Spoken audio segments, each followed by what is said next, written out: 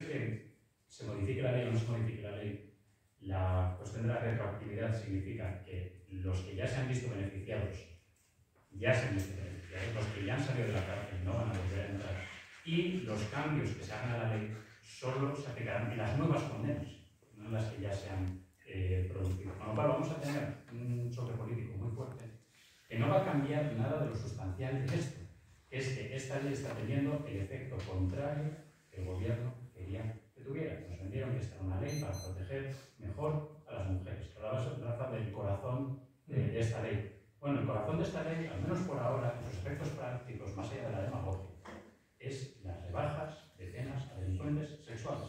Este es el corazón de la ley. Y en eso Ángela Rodríguez Pam tiene razón. La modificación no lo va a hacer. Claro, Quería añadir una cosa a lo que ha dicho, a lo que dicho Deis. Eh, y es. Eh, se me ha ido.